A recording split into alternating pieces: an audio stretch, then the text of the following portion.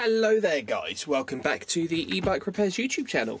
My name's Dash and I take apart and fix uh, e-bike batteries, uh, scooter batteries, motors, controllers, all that fun stuff.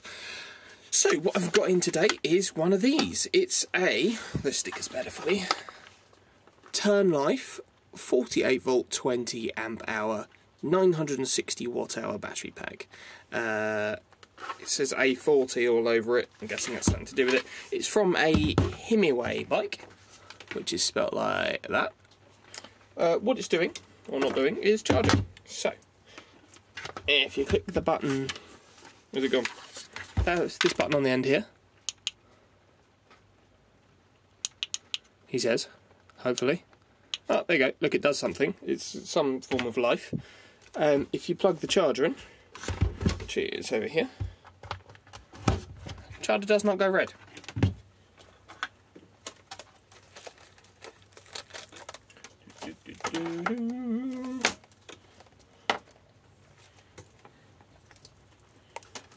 If we get our meter,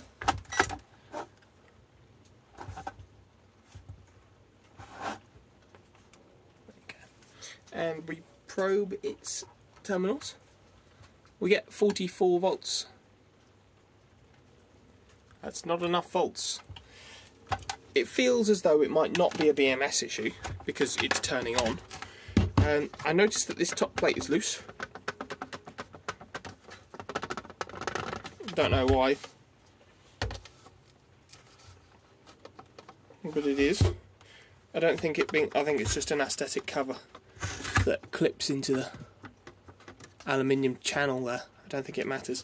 But um, what I want to do is pop off these four screws along the bottom. So one, two, three, and four there. Oh, and there are the discharge ports. And there's the charge port. Um, and just check if there's a fuse or anything like that in there. So they're just um, posi head screws, so Phillips head or whatever.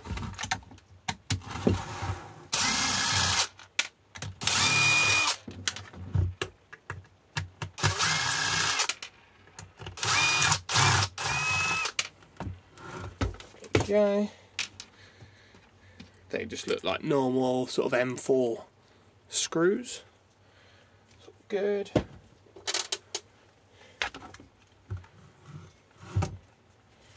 And we've got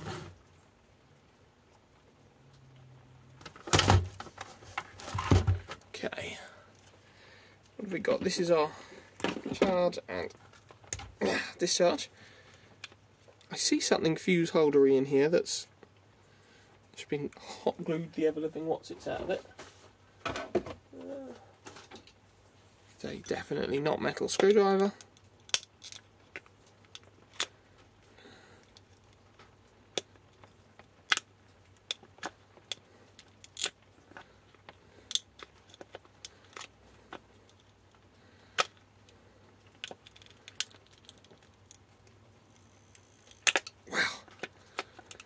I mean, at least it wasn't going to rattle undone. This might damage the fuse holder.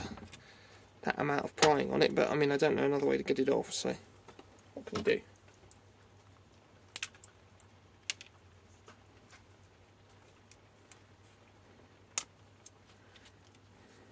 I mean, I could just test continuity between the red wire here and the central pin here, but where's the fun in that?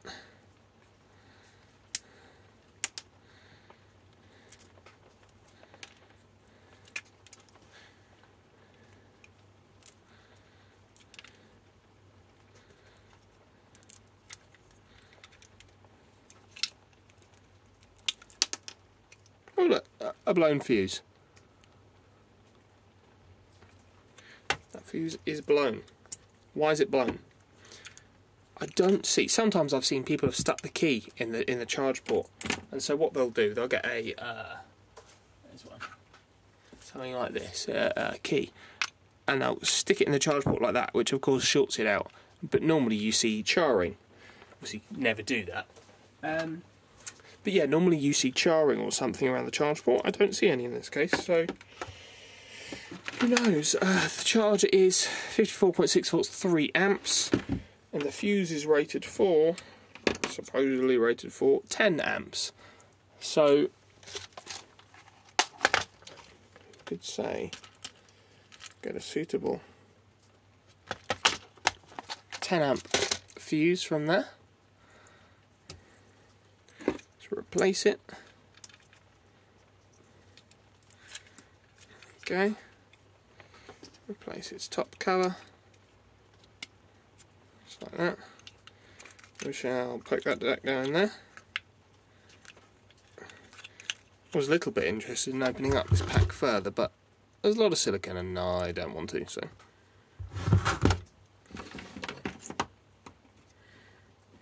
Plug that in there. Plug that in there. Does it charge? Does it charge? Does it charge?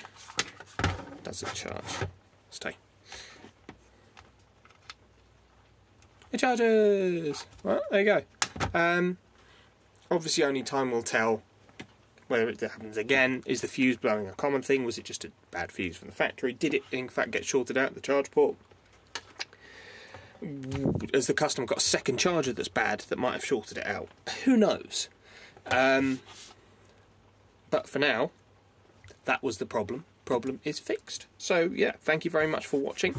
Uh, if you like this video, uh, please feel free to leave a like rating, comment down below, subscribe to the channel, or I've got like a members thingy where um, you can see some exclusive videos. Thanks very much. Bye bye.